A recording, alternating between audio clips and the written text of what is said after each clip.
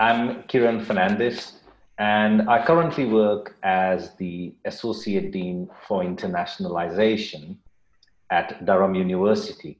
I'm also a professor in operations management at Durham. Uh, just to give you a, a brief background about myself.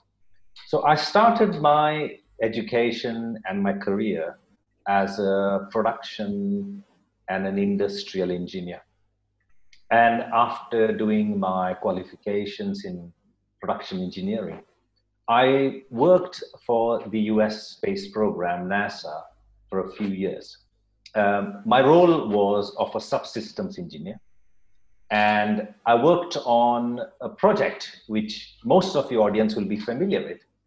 And that was the design of the pumps that go into the space shuttle engines. And of these projects, uh, there were nine successful space flights.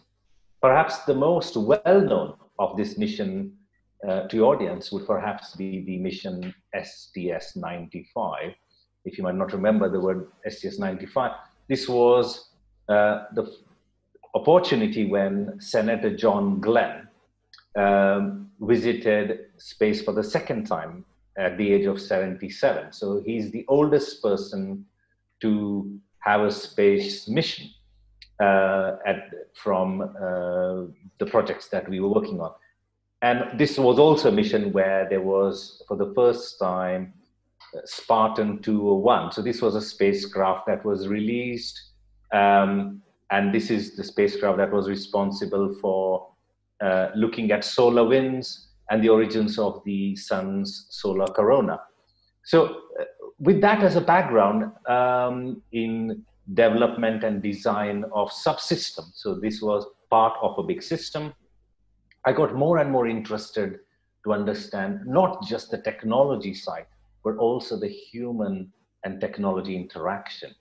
And that's why I pursued to do a PhD in manufacturing and operations at uh, the Warwick Manufacturing Group in the UK.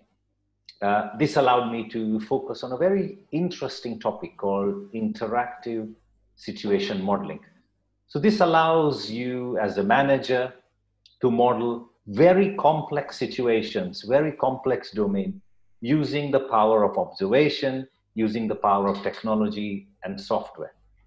Uh, it gave me an opportunity also to learn a lot when I was in Warwick uh, working for a very well-known professor called Professor Lord Kumar Bhattacharyya, allowed me to work on not just as a multidisciplinary team, but also to work with a large number of world-class companies, but also making research relevant to industry.